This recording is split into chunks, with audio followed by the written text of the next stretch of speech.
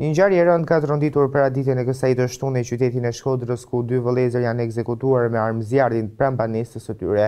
Viktimat janë vëllezërit Astrit dhe Ibrahim Bilali, të cilët ia kanë qëlluar njëri-tjetrin me breshëri plumbash.